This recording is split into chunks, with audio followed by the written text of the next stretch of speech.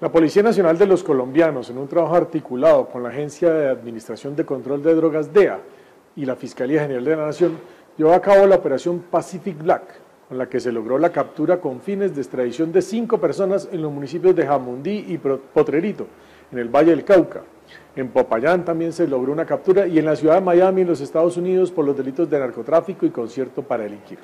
Se trata de una organización criminal transnacional que contaba con laboratorios clandestinos para la elaboración de clorhidrato de cocaína de su propiedad y se encargaba del envío de cargamentos desde los puertos marítimos de Buenaventura en el Valle del Cauca y desde Necoclí en Antioquia, a través de embarcaciones marítimas y semisumergibles, responsables del envío de 4 toneladas de clorhidrato de cocaína mensuales hacia Centroamérica con destino final a Estados Unidos. Su cabecilla es César Augusto Valencia García, alias Chucho,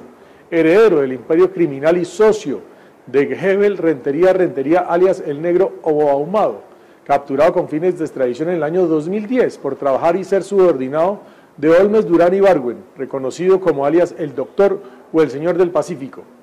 principal cabecilla de una organización criminal de la nueva generación del Cartel del Norte del Valle.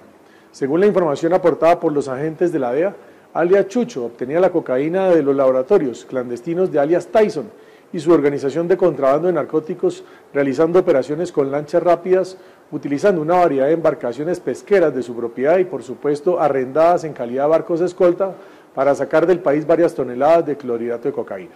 Con ellos también fue capturado en la ciudad de Miami, Florida, Alexander Valencia García, alias Alex, hermano alias Chucho. En el municipio de Jamundí, en el Valle de Cauca, fue capturado Oscar Alexander Valencia Flores, alias Guay, sobrino del cabecilla principal, y en Popayán también fue capturado Diego Fernando Beltrán Álvarez, alias Chili, hombre de confianza de Tyson y proveedor de insumos y precursores para los laboratorios de cocaína.